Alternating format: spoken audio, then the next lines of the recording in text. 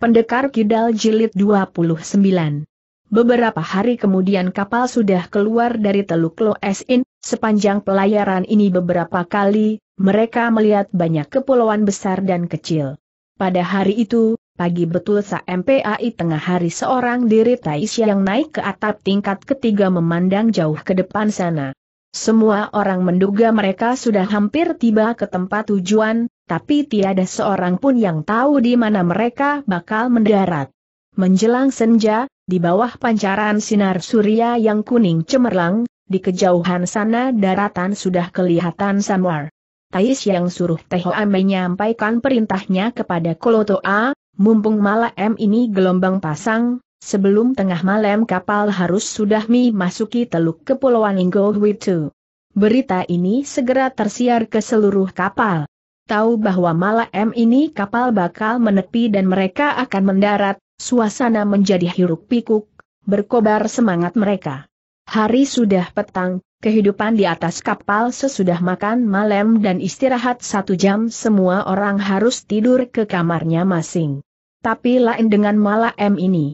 Lampu terang benderang di kamar makan tingkat kedua, cuma pada setiap lubang dari jendela berkaca telah dipasang kain hitam yang tebal sehingga cahaya lampu tidak menyorot keluar.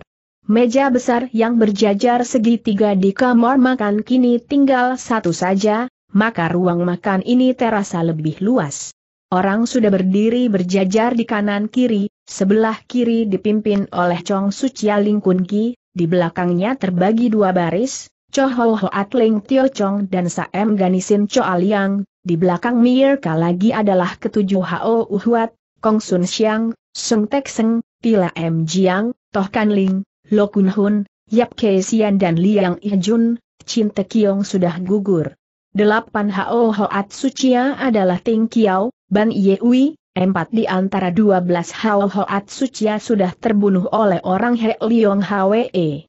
Barisan sebelah kanan dipimpin oleh Chong Koan Giok Lan, disusul enam Tai Chia, yakni Bikui Chihwei, Hu Yang, Hang Xiang, Giok J dan Loh Bijin, He yang sudah mati, mereka pun berdiri menjadi dua baris, disusul oleh barisan para darah kembang yang berjumlah 19, cucu sudah meninggal. Mereka berdiri tegak khidmat, suasana hening dan sunyi. Tak lama kemudian tampak kerai tersingkap, yang mendahului Mi langkah masuk adalah Tai Xiang, dia tetap menggunakan pakaian serba hitam, cadar hitam, sebutir mutiara sebesar buah anggur bertengger di atas gelung rambutnya.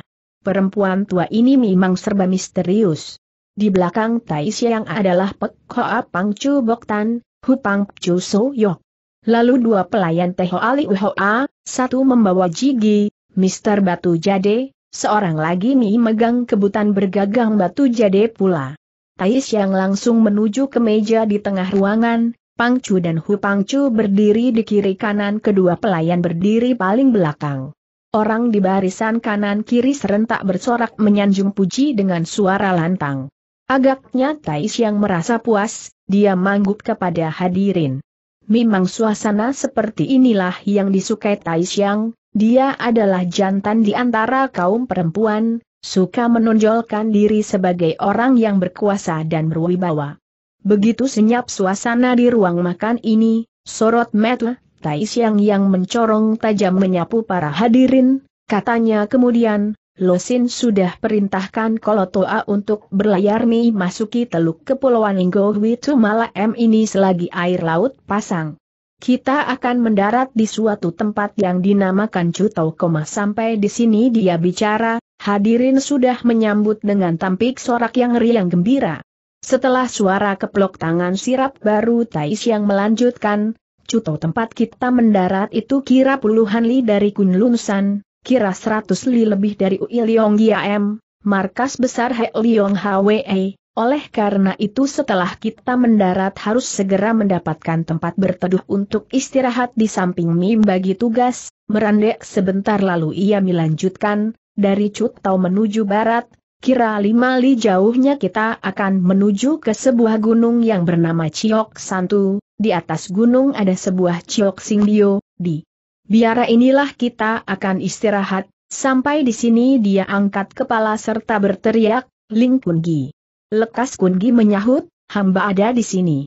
Kata Tai yang kau pimpin Choh Yeuhao Hoat dan seluruh Hou Hoat Sucia, setelah kapal mendarat bersama Chong Koan Lan kalian naik ke darat lebih dulu dan berkumpul di Chiok Sin Bio itu. Di sebelah timur Chiok Santau adalah sungai, sebelah barat adalah hutan, boleh kau berunding dengan Choh Yeuhao Hoat Care bagaimana harus menyesuaikan diri dengan keadaan di sana dan aturlah segala yang kita perlukan. Kungi mengiyakan dan terima perintah. Tais yang berkata pula, Giok Lan pimpin Bikui, Cihawei, Yang, Hong Xian, Giok J berlima seperjalanan dengan Ling Kun Gi berangkat dulu ke Chok Simbio dan atur lebih dulu segala keperluan kita, Giok Lan dan para Taicia yang disebut namanya Mimbungkuk hormat sambil mengiyakan. Loh Bijin bersama para darah kembang akan mengiringi perjalanan Losin, demikian pesan Tai Xiang.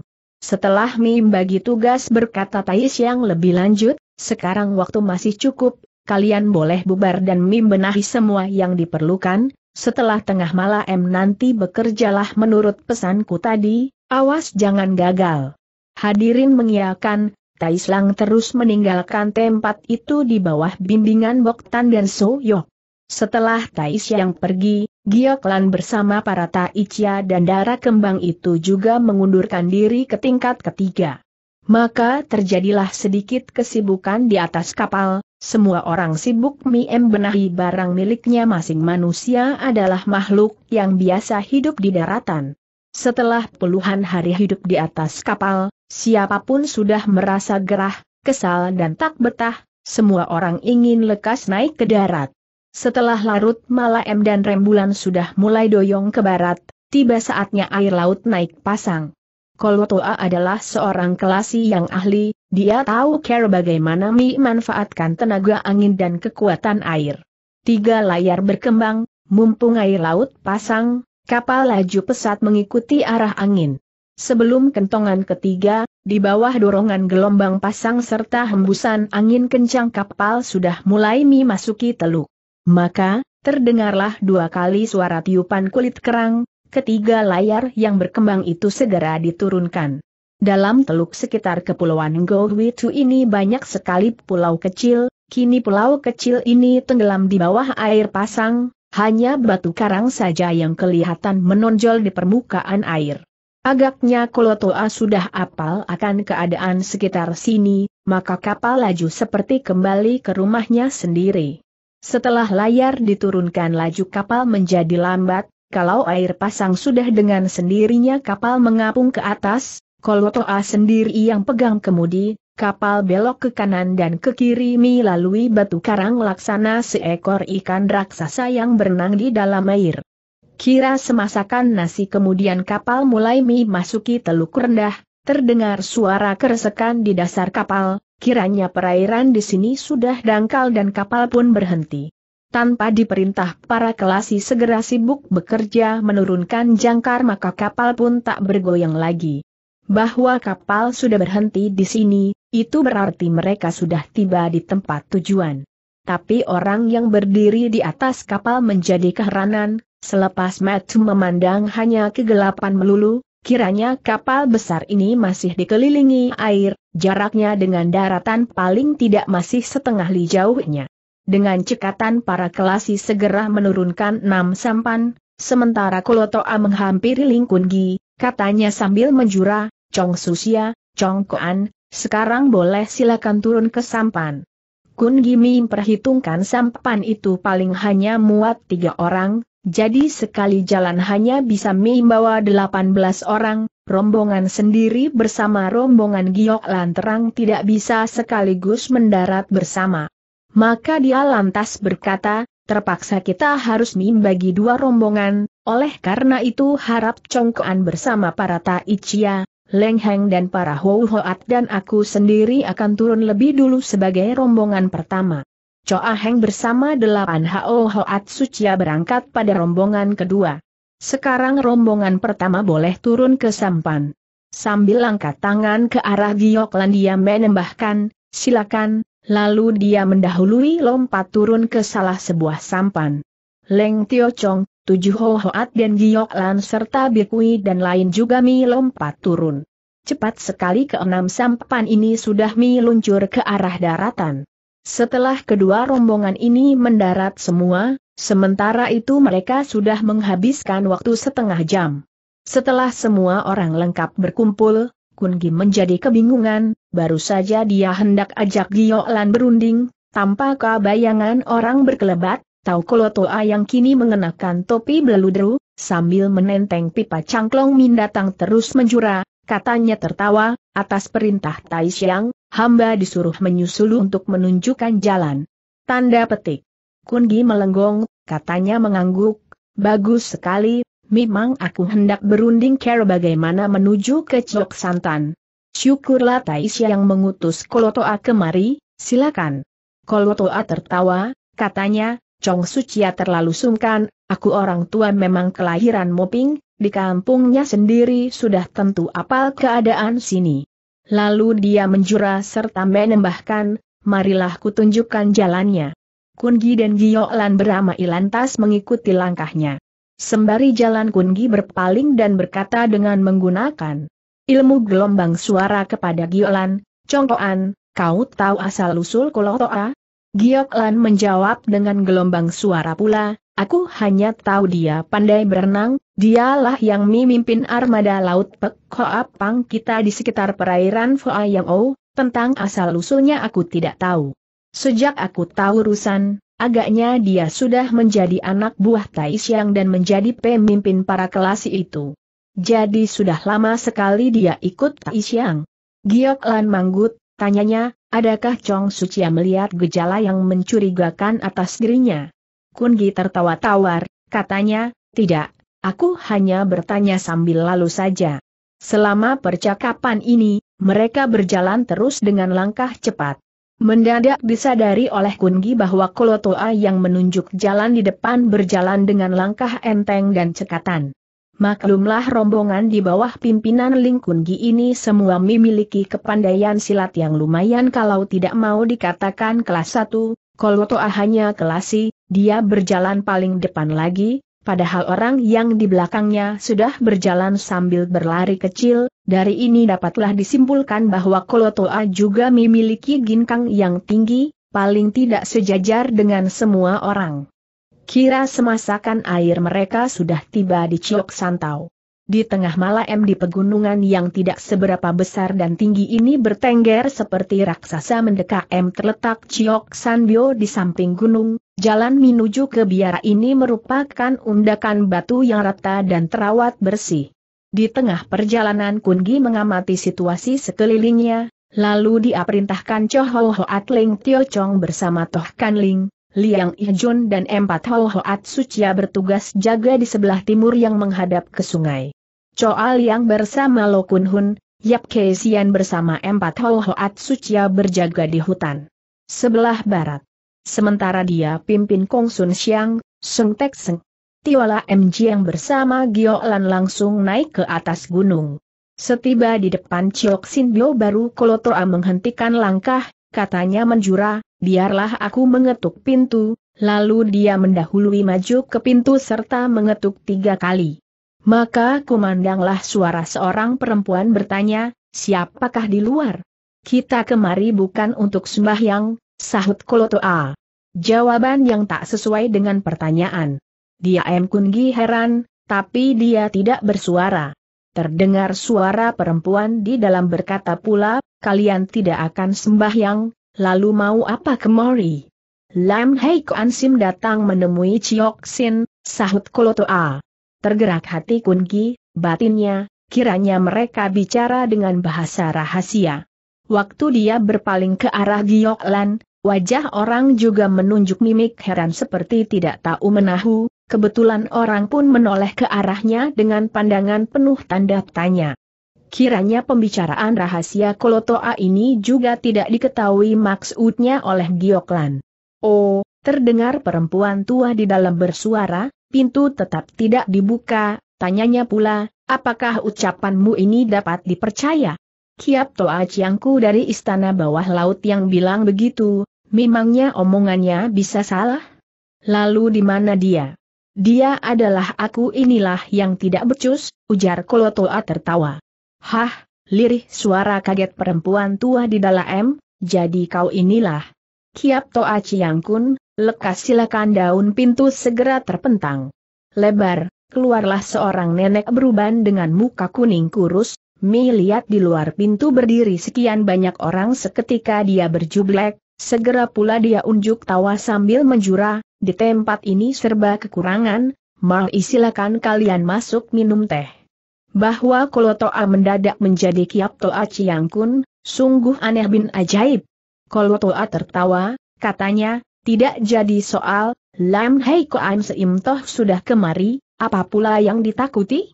kalau begitu terpaksa aku harus memberi lapor kepada yang berkuasa. Betul, lekaslah kau laporan kepada yang berkuasa, bergegas si nenek lari masuk ke belakang.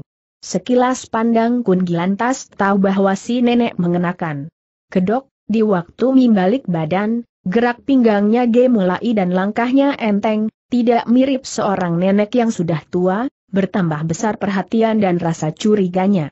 Tak tahan dia berpaling kepada Kolotoa, tanyanya, kau kenal baik penghuni biara ini? Kolotoa tertawa lebar, sahutnya, orang sekampung halaman sendiri, sudah tentu kami kenal baik. Mari silakan Chong Suciat dan Chong Koan. Beriring orang banyak lantas masuk ke biara menyusuri serambi mereka masuk ke sebuah pekarangan, tampak bangunan biara ini terdiri dari tiga lapis gedung, setiap lapis bangunannya amat lebar dan luas.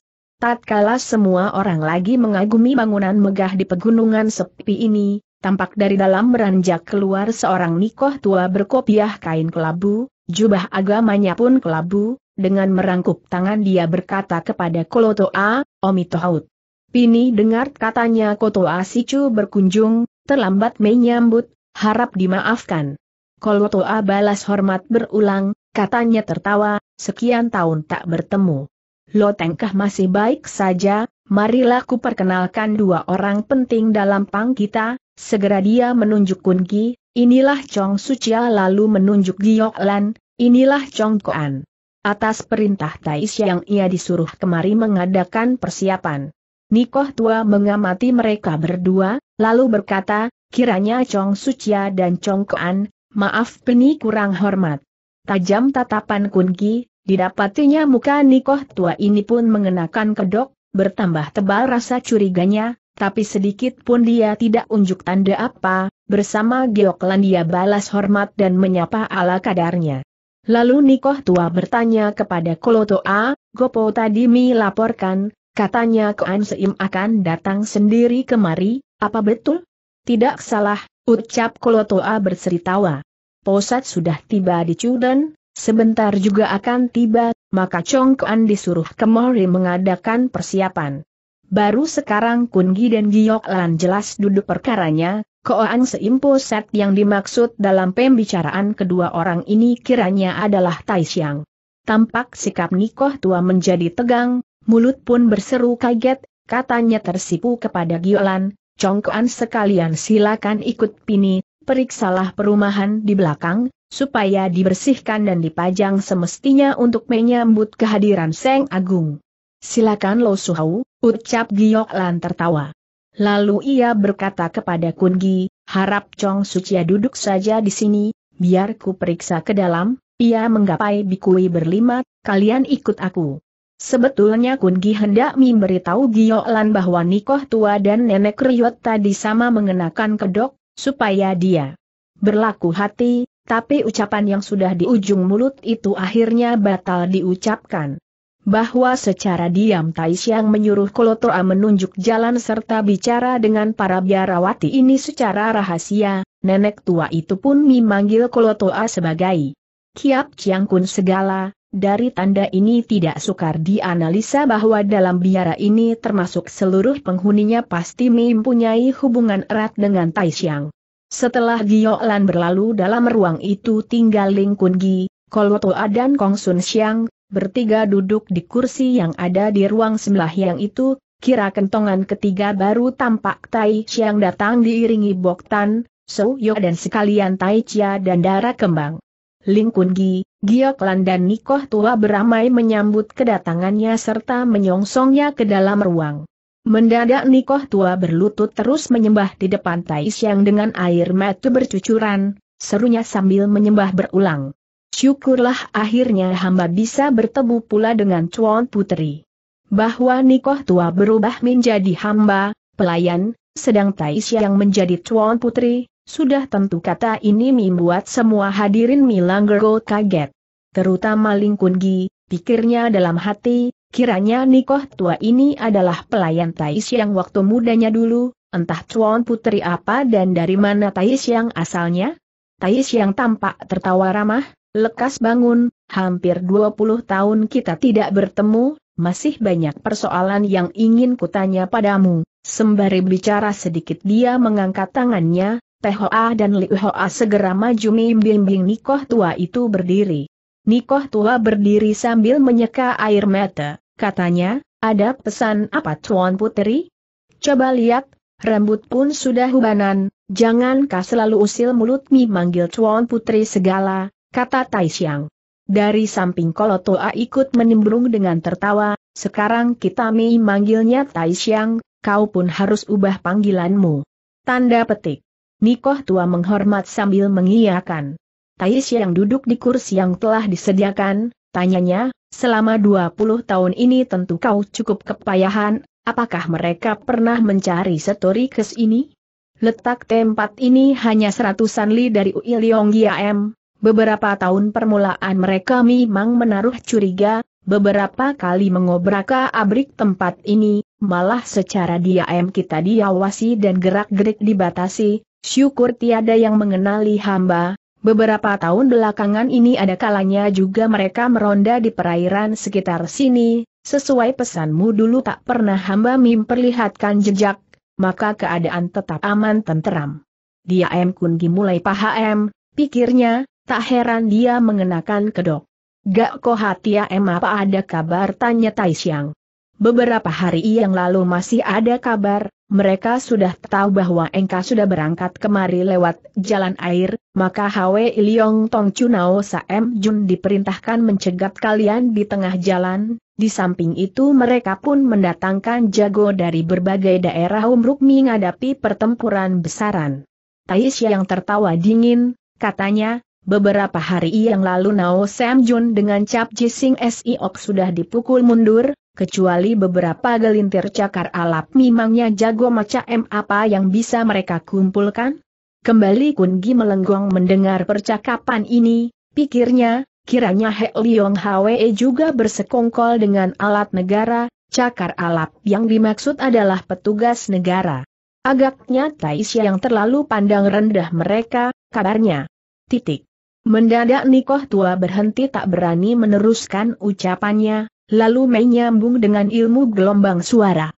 Jelas percakapan selanjutnya amat penting dan rahasia, tiada seorang pun yang tahu persoalan apa yang dipercakapkan. Ahimnya terdengar Tais yang mendengus gusar, keparat, biar ku hadapi jago bit cong andalan mereka, betapa sih lihainya lalu ia menyambung, kali ini kita menempuh perjalanan lewat air, mereka kurang biasa, menurut rencanaku semula akan istirahat dua hari di sini, bahwa mereka pun sudah mempersiapkan diri, biarlah kita sergap saja sebelum mereka bersiaga, sampai di sini pandangannya menyapu hadirin lalu berkata pula, begitu Fajar menyingsing kita harus segera berangkat, waktu masih kira dua jam, dalam waktu yang singkat ini semua harus istirahat secukupnya. Habis berkata dia berdiri, Nikoh tua membuka jalan, mereka mengundurkan diri ke belakang bersama Bok Tan dan So Yok. Giok Lan juga bawa para Taicia dan Dara Kembang istirahat ke belakang. Kecuali Mirka yang malam ini tugas jaga, sisanya sama duduk bersimpuh di ruang depan ini. Dengan cepat hari pun mulai terang, semua orang berbaris tegak di pekarangan depan siap menunggu perintah Taisya yang selanjutnya. Tak lama kemudian, di bawah iringan Bok Tan dan So Yok beranjak keluarlah Tais yang berdiri di undakan, sorot matanya yang berkilat tajam tampak mencorong di balik cadar hitam, sekilas dia menyapu pandang seluruh hadirin, lalu berkata dengan suara lantang, sekarang kita akan berangkat, musuh kita adalah Hak Liong Hwe, dengan banyak jago kosen mereka pun sudah siap menyambut kedatangan kita, oleh karena itu kita harus sergap mereka untuk merebut kemenangan dengan jumlah kita yang sedikit ini, melumpuhkan mereka yang berjumlah berlipat ganda. Sepatah kata pesanku ini harus kalian camkan dengan baik, setiap kali berhadapan dengan orang He Liong Hwe kalian harus turun tangan lebih dulu bunuh seluruhnya dan habis perkara, sekali liang dan kalah cepat memperoleh kesempatan, jiwa kalian sendiri yang akan melayang dan tiada liang kubur untuk kalian. Semua hadirin mendengarkan dengan khidmat dan patuh, tiada yang buka suara. Sudah ribuan li mereka tempuh perjalanan inti, tujuannya menyerbu He Liong Hwe, medan laga sudah di depan mata, maka berkobarlah semangat tempur semua orang. Apalagi kata Tais yang cukup tajam dan membakar semangat, semakin besar gairah tempur mereka. Habis bicara dari lengan bajunya yang lebar itu Tais yang mengeluarkan sepucuk sambul tertutup. Teriaknya, Boktan. Pek Hoa Pangcu Boktan mengiyakan sambil tampil ke depan, serunya, Guru ada, pesan apa? Kau pimpin Giok Lan, Bikui, Cihawei dan Choho Hoat Leng Tio Chong, Ho Liang Ijun, Yap Kesian dan Bingguat sebagai petuntuk jalan, bekerjalah menurut catatan dalam surat rahasiaku ini, lalu ia serahkan sambul surat itu. Setelah terima sambul surat itu, Boktan menjura, katanya, Tecu terima perintah. Tais yang mengulap tangan, kalian pun boleh pergi. Tanda petik. Giok Lan, Bingguat, Nikoh Tua, Leng Tio Chong dan lain mengiakan bersama, Lalu mereka mengintil cepat di belakang Pek Hoa Pangcu Boktan keluar biara. Kembali Tai Xiang keluarkan sambul surat kedua serta berseru, Soyok. Tecu ada, sahut Soyok tampil ke depan. Kau bawa Hugong, Hong Xian, Giok Je, Yeu Ho Hoat Cho Aliang, Ho Hoat Toh Kanling, Lo Kun Hun dan Bing Chu akan menunjukkan jalan, bekerjalah menurut petunjuk dalam suratku ini, lalu dia pun serahkan sampul surat itu. Setelah menerima sampul Soyok terus mengundurkan diri beserta orang yang ditunjuk Tai Xiang barusan. Untuk ketiga kalinya Tai Xiang mengeluarkan pula sampul ketiga, teriaknya, Ling Kungi. Hamba ada, sahut Kungi. Tai Xiang serahkan sampul surat itu, sorot matanya menatap tajam ke muka Ling Kungi, katanya dengan suara tandas, Ling Kungi, dalam tiga rombongan ini, rombonganmu merupakan pusat kekuatan penyerbuan kita kali ini, apakah Pek Hoa Pang dapat mengalahkan Hek Liong Hwe? Tugas berat ini terletak di atas pundakmu, oleh karena itu kau harus mematuhi pesanku di dalam sampul ini, jangan lina dan jangan ragu, tahu tidak? Hamba akan bekerja sekuat tenaga, sahut Kungi. Baiklah hujar Tai Xiang. Sisa orang yang ada di sini boleh kau pimpin seluruhnya, kalau Toa akan menjadi petunjuk jalan, laksanakan perintahmu di dalam sampul, hanya boleh berhasil pantang gagal habis berkata baru dia serahkan sampul surat itu. Waktu Kungi terima sampul itu, tampak di bagian depan sampul tertulis sebaris huruf yang berbunyi, sebelum jam 8 harus tiba di Lim Chuse dan surat ini baru boleh dibuka entah di mana letak Lim Chu Sei. Tapi kalau Toa akan menunjukkan jalannya, maka dia tidak perlu banyak tanya. Segera dia simpan sampul itu ke dalam saku, terus menjura dan serunya, hamba terima perintah dan segera melaksanakannya. Loh Bijin, ucap Tai Siang lebih lanjut, nol darah kembang yang kau pimpin tinggal 19, biarlah Tehoa menggenapi jumlah ini, kau tetap pimpin nol orang, Tehwa adalah salah satu pelayan pribadi Xiang. Tecu terima perintah, seru Loh Bijin. Kata Xiang, suruhlah mereka menggotong tandu yang ada di belakang itu keluar, kalian boleh segera berangkat. Kembali Loh Bijin mengiakan terus ke belakang membawa empat darah kembang, tak lama kemudian dia sudah keluar, keempat darah kembang itu mimikul sebuah tandu, warna tandu ini juga serba hitam. Dia M Kun Gimi batin, Tandu ini tentu buat Tai Xiang, Tai Xiang mengulap tangan, katanya, untuk memburu waktu. Sekarang juga kalian boleh berangkat lalu dia berpaling kepada Liu Hoa di belakangnya, bawalah jigi itu dan jalanlah selalu mengiring di samping tandu, Li Uhoa mengiyakan. Heran Kunki, semula di akhir yang akan naik tandu ini, tak kira dia membagi seluruh kekuatan Pek Hoa Pang menjadi tiga rombongan, ketiga rombongan dilepasnya pergi berarti seluruh kekuatan dikerahkan. Lalu dia sendiri bagaimana? Memangnya seorang diri tak akan tinggal di biara ini? Atau sengaja dia membagi tugas kepada orang banyak, sementara dia sendiri menuju ke suatu tempat tertentu? Tapi Tais yang sudah ah memerintahkan berangkat, kecuali berangkat menunaikan tugas, tak mungkin dia mengajukan pertanyaan lagi. Maka lekas dia menjura kepada Tai Xiang, ia membawa Kolotoa, Kong Sun Xiang, Seng Tek Seng, Tiola M Jiang dan kedelapan Hao Hoat Suci yang mendahului keluar. Sementara Loh Bijin mengintil dengan barisan nol darah kembang yang Mi M bawa tandu kosong, sementara Liu Hoa mengiring di samping tandu hitam. Setelah rombongan mereka itu meninggalkan Ciok Santan barulah Kungi bertanya kepada Koloto A, Tais yang suruh kita tiba di Lim Chu sebelum jam pukul 8 pagi, apakah keburu waktunya? Lim Chuse terletak di kaki Gunung Kunlun sebelah depan, dari sini kira ada 50 li, kini baru jam 6, kalau jalan cepat, kukira masih sempat mimburu waktu. Baiklah, silakan kalau Toa tunjukkan jalan, kita jalan cepat, demikian ucap Kungi. Di bawah petunjuk Kolotoa, mereka berjalan cepat menuju ke arah utara. Daerah yang mereka lalui adalah pegunungan rendah, jalan gunung yang berliku sukar dilalui, untung Mir Kasa Mami miliki kepandaian tinggi, dengan menyusuri kaki gunung Mirka maju terus, ada kalanya mereka harus melintas jurang atau menyeberang sungai. Selama sejam lebih mereka menempuh perjalanan dengan sangat payah, tapi-tapi tiada yang mengeluh, untungnya sepanjang perjalanan yang serba sukar ini mereka tidak mengalami aral rintang berarti, Tepat pada jam yang ditentukan mereka tiba di Lim Chusei.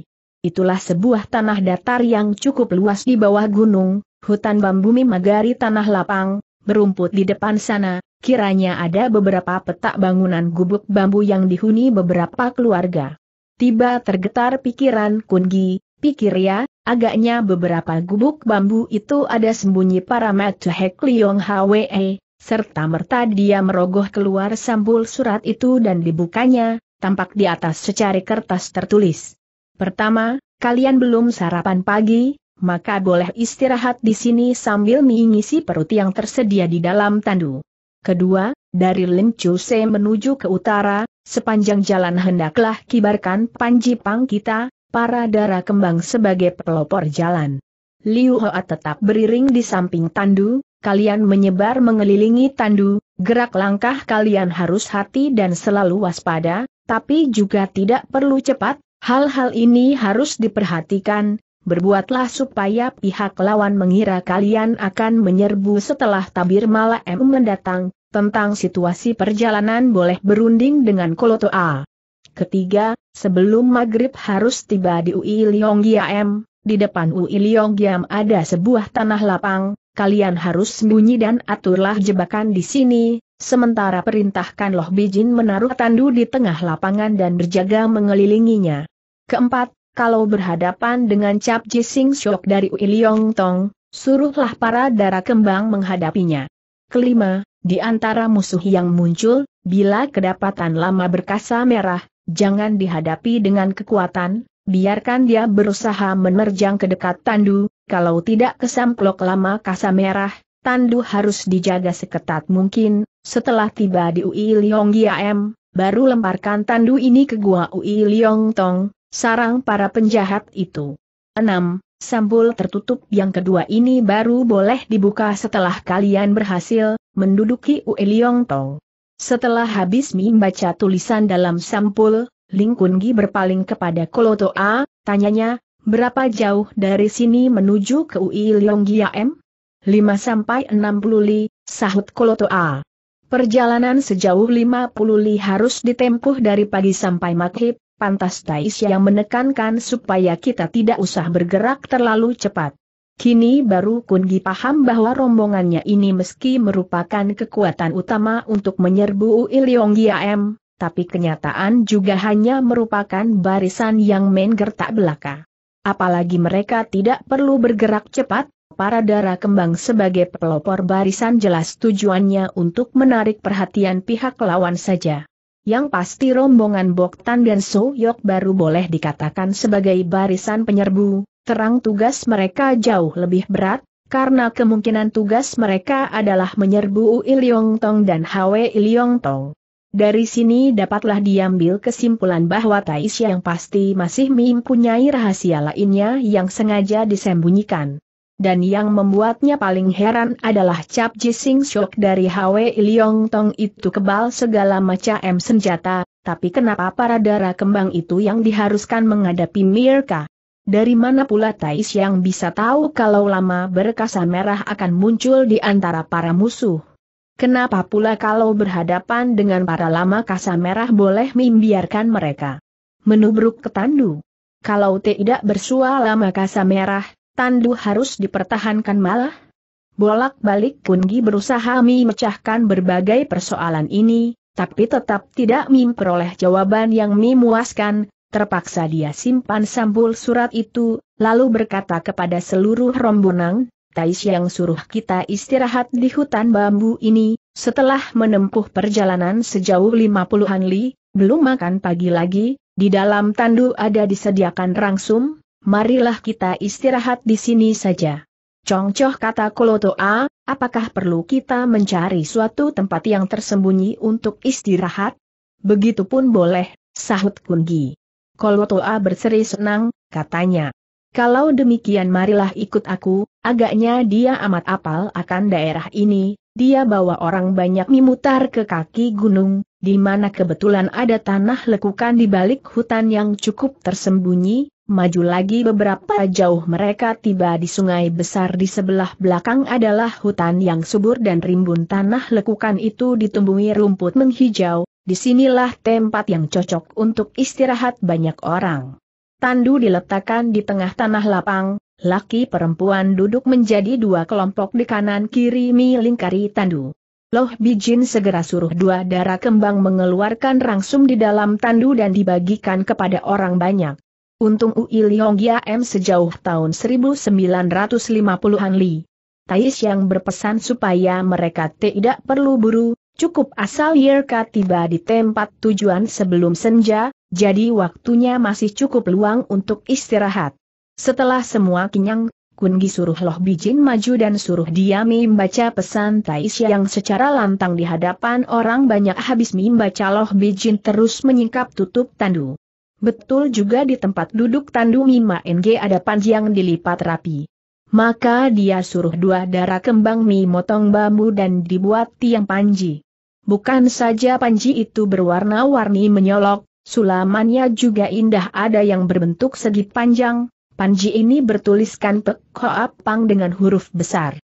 Ada pula yang berbentuk segitiga, di tengahnya bersulam huruf Soa yang besar. Ada pula panji panjang sempit berwarna dasar putih bertulisan hitam, hurufnya berbunyi tumpas habis Hek Liong Hwe dan sebuah lagi bersemboyan lenyapkan sampah persilatan. Setelah panji ini dipasang di ujung bambu panjang hingga mirip barisan panji di waktu pawai, menarik dan mengesankan. Setelah segala persiapan selesai dilakukan, Kungi mendekati Loh Bijin, tanyanya, apakah Nona tahu apa yang harus dilakukan sepanjang perjalanan ini? Wah, agaknya Chong Sucia hendak menguji aku, Ucap Loh Bijin dalam pesan Tais yang suruh para darah kembang menjadi pelopor barisan dengan panji serba aneka ragam ini, tapi gerak-gerik kita sedapat mungkin harus tetap dirahasiakan, kukira maksud Tais yang supaya kita menggulung panji itu, barisan maju ke depan dengan diam, entah betul tidak gambaranku ini. Nona memang cerdik, ujar Kungi mengangguk, kukira memang demikianlah maksud Taisyang. Aku sangat bangga dapat seperjalanan dengan Chong Sucia dan berada di bawah perintahmu lagi, segalanya terserah kepada Chong Sucia saja. Jangan nona sungkan, baiklah kita bekerja sesuai pesan beliau saja, kata Kungi pula. Setelah cukup lama mereka istirahat, Kolotoa tetap berjalan paling depan sebagai penunjuk jalan. Kali ini barisan dibagi menjadi beberapa kelompok, maka jalannya jauh lebih teratur. Kolotoa sebagai penunjuk jalan berada paling depan, lalu Chong Sucia Ling Kun Gi, Kong Sun Xiang, Seng Tek Sing, Tiola M. Jiang dan disusul para darah kembang yang membawa Panji. Cuma Panji yang Mirka bawa sama digulung, ada yang masih mi lambai dan sebagian gambar kelihatan, siapa pun yang mi lihatnya pasti akan tahu bahwa mereka adalah barisan orang Peko Apang. Yang berada di belakang barisan darah kembang adalah Loh Bijin Seng pimpinan, lalu Liu Hoa yang mi megang mistar kebesaran, di belakangnya lagi baru Tandu, di belakang Tandu adalah delapan Ho Hoat Sucia yang mengenakan seragam hijau pupus. Barisan tampak megah dan merupakan kekuatan utama Pek Apang, siapa pun bila melihat tandu serba hitam itu pasti akan mengira orang yang duduk di dalamnya Tais yang adanya. Memang siapa yang tahu bahwa tandu ini sesungguhnya kosong? Barisan ini memang dimaksud untuk menggertak musuh belaka. Ternyata Kolotoa juga cukup cerdik dan pintar, dia meninggalkan jalan raya, sengaja dia pilih jalan pegunungan yang jauh lebih sulit dilewati. Malah ada kalanya sengaja main sembunyi dan menggeremet maju seperti takut jejaknya konangan musuh. Yang benar, waktu berada di Ling jejak mereka sudah selalu diawasi oleh Matu Hek Liong Hwe, dengan burung darah pos Matu itu sudah kirim berita ke markas pusat, malah sepanjang perjalanan ini ada juga orang menguntit, setiap saat gerak-gerik mereka selalu dilaporkan lewat burung pos. Oleh karena itu pihak Hek Leong HWA mat jelas akan jejak dan gerak-gerik mereka. Tapi maksud tujuan Tais yang akan rombongan yang dipimpin Lingkun Gi ini memang hanya untuk menggertak musuh, supaya pihak Hek Leong HWE merasa yakin sudah menguasai situasi. Menjelang senja sesuai pesan Tais yang mereka sudah berada di belakang gunung, tapi mereka bergerak sembunyi, mereka harus menunggu hari menjadi gelap baru akan beraksi, secara mendadak menyergapu Iliong M. Hari mulai remang, rombongan yang dipimpin Ling Kun Gi di bawah petunjuk jalan Kolotoa akhirnya tiba di tanah lapang berumput di luar Iliong M. Inilah tempat yang sudah ditentukan. Oleh Tai Xiang, setiba di tempat ini Mirka tidak perlu main sembunyi lagi. Dara kembang dengan mengacungkan panji mereka berderap masuki tanah lapang serta menduduki tanah berumput datar ini, tandu pun diturunkan tepat di tengah lapangan. Sungguh aneh, dari depan sampai belakang gunung tak pernah mereka kesamplok dengan seorang musuh pun sehingga barisan pelopor Pekho Apang yang merupakan kekuatan inti ini seolah memasuki daerah yang tidak dihuni lagi, tapi Kungi cukup mengerti, bila pihak lawan diam saja dan tidak memberikan sesuatu reaksi, ini berarti bahwa mereka memang sudah sejak lama mempersiapkan diri dan mengekang anak buahnya secara keras dan membiarkan pihak Pek Pang masuk jebakan yang telah diatur. Maka Kungi berpesan kepada seluruh anak buahnya agar selalu siaga dan waspada. Delapan Ho Hoat Sucia, Nol darah kembang semua sudah melolos senjata siap membentuk ancang barisan di tengah tanah rumput itu. Tandu tetap berada di tengah, tirai menjuntai menutup rapat sehingga tak kelihatan siapa yang ada di dalam. Li Uhoa berdiri tegak di samping Tandu sambil mimi luk mistar kebesaran. Jumlah mereka tidak sedikit, tapi gerak-gerik mereka cukup lincah dan tangkas, langkah tidak berbunyi dan tidak menimbulkan kepulan debu. Sementara Panji Pek Pang sudah dipancang di sekeliling tanah lapang, Panji berkibar tertiup angin. Empat darah kembang yang ditugaskan mengurus konsumsi segera mengeluarkan rangsum dan dibagikan. Setelah malam semakin berlarut nanti mereka akan menghadapi suatu pertempuran besar yang akan menentukan mati dan hidup, maka mereka harus mengisi perut untuk menunjang semangat dan kekuatan fisik. Pada saat mereka istirahat itulah tiba terdengar dari arah barat di mana tadi mereka datang berkumandang suara ledakan. Menggelegar. Terlihatlah serombongan bayangan orang muncul dari balik batu besar dan mencegat jalan mundur mereka. yang terdepan adalah seorang kakek tua bertubuh kurus kering, bermata satu sebelah kanan. Di belakangnya berbaris sembilan orang, dari kaki sampai kepala dibungkus pakaian seragam ketat warna hitam, hanya kedua biji mati mereka yang kelihatan, itulah sisa dari Cap Jising Esyok yang berpakaian kebal senjata. Kungi tertawa dingin, jengeknya. Kukira siapa, rupanya kalian yang pernah kecundang di bawah pedangku, mana Kim Kao Chian Nao Saem Jun, kenapa tidak kelihatan batang hidangnya? Memangnya sudah pecah nyalinya. Bola mata si kakek yang bermata, tunggal ini mendelik besar seperti kelereng berapi, sesaat lamanya dia menatap Kungi, Katanya kemudian, usia muda bermulut besar, kau nikah Chong Sucia Pek Apang yang bernama Ling Kun Gi itu? Kun Gi bertolak pinggang dengan angkuh, katanya, sebutkan juga namamu. Si Metu, tunggal mencibir, dengusnya, cari urusan tidak tahu diri, memangnya siapa lohu ini tidak pernah kau dengar orang bilang. Kun Gi tertawa lantang, katanya, terlalu banyak sampah persilatan, Mana mungkin orang Shiling tahu akan orang tersisa ini. Seketika si Metu, tunggal menarik muka, teriaknya gusar, anak keparat yang tidak tahu diri, nanti akan lohu bikin kau tahu betapa lihainya orang tersisa ini. Kalau Toa berdiri di belakang Ling Kun Gi, tiba dia berkata lirih, dia inilah yang dipanggil Lo Antianeng Xiuing, salah satu dari ke-36 Panglima He Liong Hwe dulu. Metu, Tunggal Hoan Tian Xiu Ing Mi mancarkan cahaya dingin tajam, sesaat dia tatap Kolotoa, akhirnya tergelak, katanya, kau, ini Ko Chiang Kun, haha, tak herankah segera tahu asal-usul saudaramu ini. Kolotoa segera menjura, katanya, ya, memang inilah orang Shiko, silakan Siu Chiang Kun. Dia M Kun Gi mengangguk, pikirnya, Ternyata Kolotoa juga salah satu dari ke-36 Panglima He Liong Hwe dulu. Tatkala dia berpikir inilah, dari arah jalan pegunungan sebelah sana juga berdentum suara ledakan keras. Muncul bayangan dua pasang orang berbaju hitam dari jalanan hutan sana. Empat orang bergerak laksana setan gentayangan, pelan mereka beranjak keluar dari hutan, lalu berdiri terpencar ke kiri kanan, tegak laksana patung, kedua tangan lurus ke bawah, muka kelihatan putih kaku seperti mayat.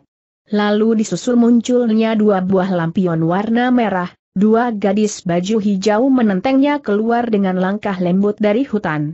Menyusul muncul sebuah tandu yang dipikul dua laki kekar hanya sebentar saja sudah berada di luar hutan dan berhenti di ujung jalan. Kedua gadis pembawa lampion berdiri di kiri kanan tandu, Keempat laki serba hitam berwajah seperti mayat tadi juga merapat ke dekat tandu. Dia M Kungi menerawang, ramalan Tai Siang memang tepat, He Liong Hwe main pancing musuh ke daerah terlarang ini untuk turun tangan tapi pihak musuh tidak tahu semua ini sudah dalam perhitungan beliau. Maka dapatlah diduga kalau Hak Liong Hwe mengerahkan kekuatan dan membuat perangkap di sini, Jelas rombongan Pek Hoa Pangcu Boktan dan Hu Pangcu So Yok yang bertugas menyerbu dari sayap kiri kanan atas perintah Tai Siang itu belum diketahui pihak musuh.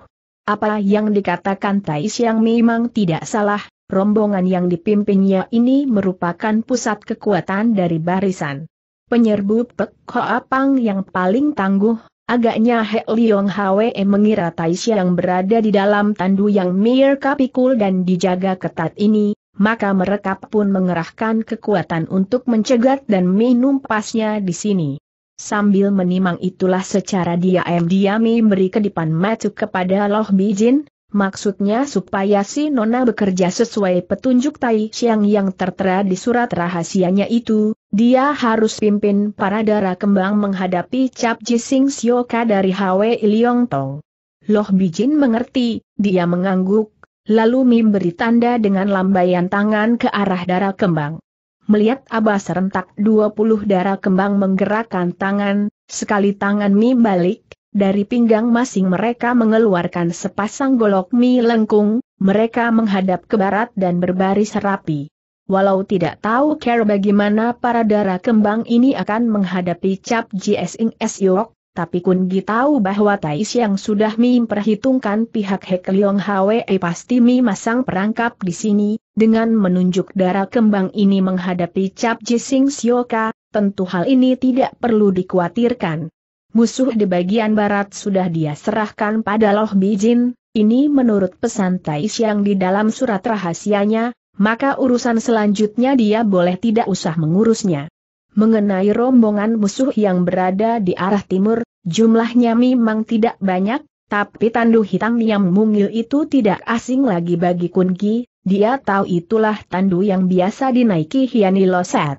Perempuan yang satu ini pandai menggunakan obat bius, sampai lem yang ki tong pi tianong tong jihya yang memiliki kepandaian tinggi itu pun kecundang olehnya, tapi dia tidak usah gentar menghadapinya karena memiliki Jing Es Intan buatan keluarga Un dari Lingla MP Pemberian Un Hoan Kun.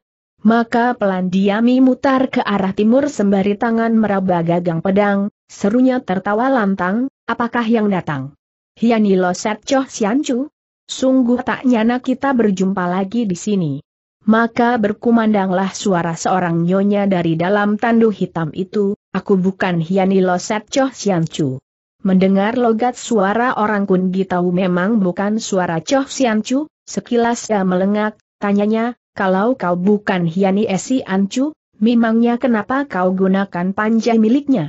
Orang dalam tandu mendengus, katanya, buat apa Losin harus memakai panji miliknya sa MPAI di sini suaranya tiba meninggi, Jun Hoa, Jiu Guat, buka tirai. Dua pelayan baju hijau yang berdiri di kanan kiri tandu mengiakan terus menyingkap tirai yang menutup tandu. Kini Kungi bisa melihat jelas. Di dalam tandu duduk seorang nyonya baju hijau bergaun putih, wajahnya putih, rambutnya sudah beruban, sorot matanya berkilat, memang dia bukan Hiani Losat. Anak muda, ucap nyonya baju hijau, Kau kenal Choh Esi Ancu gagah perkasa sikap Ling Kun Gi dengan jubah yang milambai.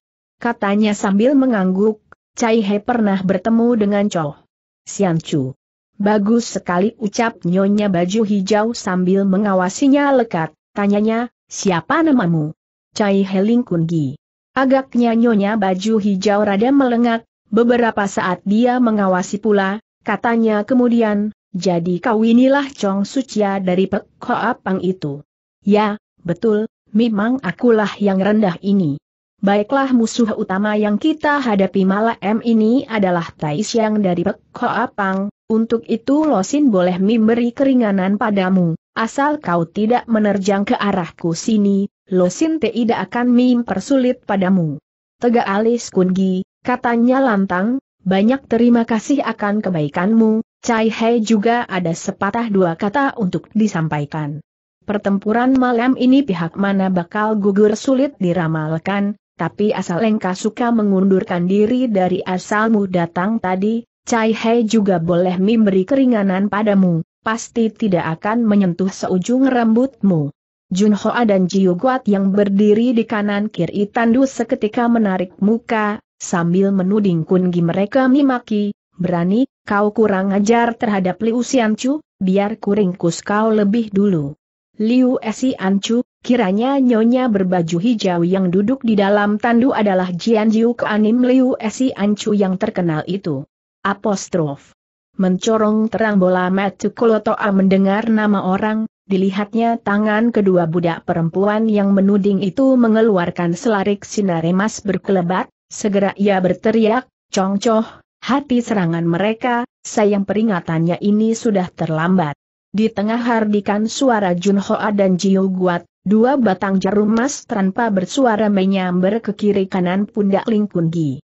Tapi Kungi tetap menggendong tangan dengan sikapnya yang gagah perkasa tanpa bergerak, kedua jarum emas lawan dibiarkan saja mengenai pundaknya, malah dia unjuk senyum manis dan berkata, kalau jarum nona berdua bisa melukai Cai He, jabatan Chong di Pek Hoa Pang memangnya bisa kududuki, belum habis dia bicara, kedua jarum emas lawan yang mengenai pundaknya, pelan jatuh ke tanah.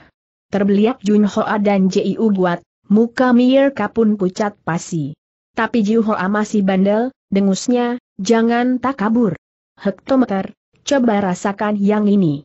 Lekas Liu Esi Ancu bersuara, Jiu Guat, jangan turun tangan, dia meyakinkan ilmu sakti pelindung badan, kalian tidak akan mampu melukai dia, pandangannya beralih dan berkata pada Ling Kungi, usiamu masih begini muda, tapi sudah berhasil meyakinkan ilmu sakti pelindung badan, sungguh kagum dan harus dipuji, tak heran. Kau berani bersikap angkuh dan bermulut besar, ketahuilah ilmu silat tiada batasnya, kepandaian seorang bisa lebih tinggi daripada yang lain, tentunya kau pernah dengar penuturan gurumu tentang nama Kensianyang Jianjiu Koanim bukan? Ilmu sakti pelindung badanmu itu hanya mampu menolak senjata rahasia biasa, tapi menghadapi Tai yang sinciam, jarum sakti matahari, milikku ini, ilmu saktimu itu tidak akan berguna lagi.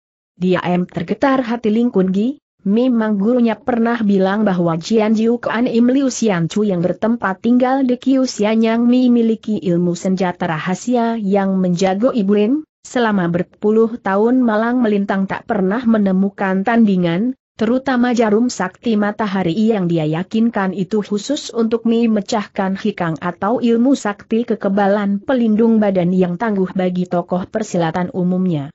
Sungguh tak pernah terpikir oleh Kungi bahwa Jian Jiu Keanim Liu Xian Chu yang tersohor juga mau menjadi kaki tangan musuh dan bersekongkol dengan Hek Liong Hwe.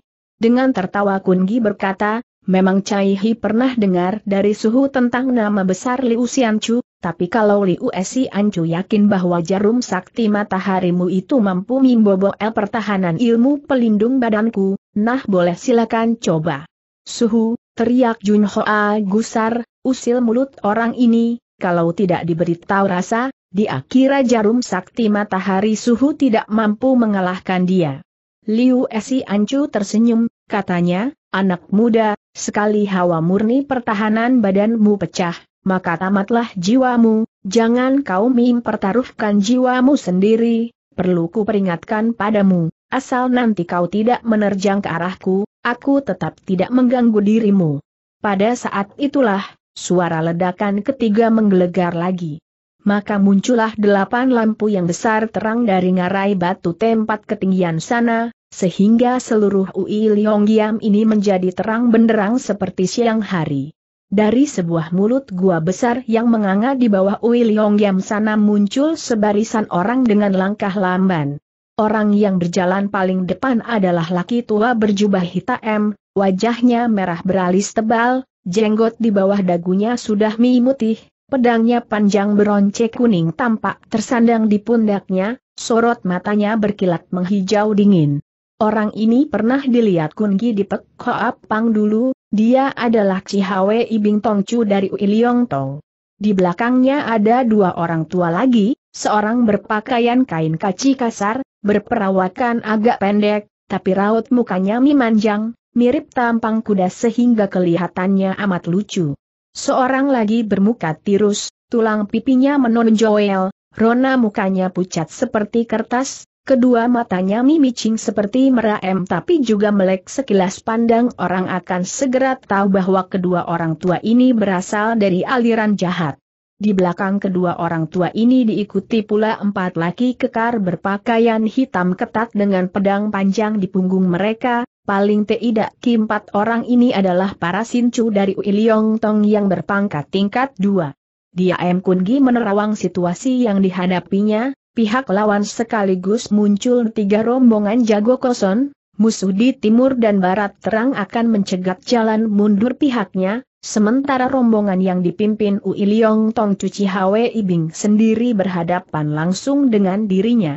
Hoan Tianeng Shuling yang memimpin sisa Cap Jising Siok akan dihadapi Loh Bijin dengan darah kembang sesuai yang dipesan oleh Tai Xiang, Sementara untuk menghadapi rombongan musuh di sebelah barat dan di depan ini, dia sendiri harus berdaya upaya. Maka dia berbisik kepada Kong Sun Siang supaya memimpin empat Hao Hoat Sucia menghadapi rombongan musuh di sebelah timur yang dipimpin Liu Esi Amcu. Sementara empat Hao Hoat Sucia yang lain di bawah pimpinan Ting Kiao diserahi tugas untuk melindungi Tandu. Sementara Kungi, Kolotoa, Seng Tek Sing Tiola MG yang berhadapan langsung dengan kekuatan utama musuh yang dipimpin. Hwe Ibing care pembagian ini kalau dinilai kekuatannya jelas pihak sendiri terlampau lemah, tapi dalam keadaan kepepet pada saat genting ini, care yang ditempuhnya ini sudah merupakan pilihan yang terbaik. Bersinar tajam mata Eliong Tongcu, dengan kalem satu persatu dia awasi, setiap insan Pek Apang yang ada di tengah lapangan, kemudian terkulum secercah senyuman riang, congkak dan rasa kemenangan, dalam jarak dua tombaka dia berdiri, suaranya bergetar keras, siapakah yang bernama Ling Kun Gi, Chong Sucia dari Pek Kok Apang? Dengan kalem Kun Gi melangkah maju, katanya, Cai He inilah Ling Kun Gi, Citong Chu ada petunjuk apa pedang tersoreng di pinggang, jubah hijau yang dipakainya melambai tertiup angin, sikapnya tenang dan wajar, sungguh tak ubahnya seorang panglima perang yang sudah berpengalaman dan tabah menghadapi segala lawan. Koloto A, Seng Tek Seng dan Tio Lam Ji yang tetap beriring di belakangnya. Seperti maco harimau yang buas dan liar sorot metu Cihawe Ibing, katanya, menyeringai, kau nikah Chong Sucia itu. Di taman belakang Pek Koap Pang dulu dia pernah melihat Kungi duduk berjajar dengan Pek Koap Pang Chu, maka dia kenal Kungi. Mana Tais yang kalian tanyanya pula? Ya, beliau pun datang. Kenapa menyembunyikan diri dalam tandu? Persilakan dia keluar. Apakah Wecu kalian juga akan keluar balas tanya Kungi? Dengan kekuatan kami yang tangguh ini, memangnya perlu. Wecu sendiri yang keluar rejek Cihawe Ibing. Tawar-tawa Kungi, ucapnya, kalau Wecu kalian tidak mau keluar, Taisyang kami juga tidak sudi menemuimu. Cihawe Ibing terbahak sambil mendongak, serunya, kalian sudah terjatuh ke dalam genggaman tanganku, ingin loh lihat sampai kapan dia bisa sembunyi di dalam tandu. Jadi Citong Chu sudah yakin kalau pihakmu pasti akan menang jengek Ling Kun Gi. Memangnya kalian mampu keluar dari sini dengan masih bernyawa? Kukira belum tentu, demikian ucap Kun Gi dengan sombong, orang kuno ada bilang, orang bajik tidak akan datang, yang datang tidak mungkin bajik, kalau Pek Pang cuma macamnya orang segampang tahu dicacah memangnya bisa meluruk sejauh ini sampai di Kunlunsan ini?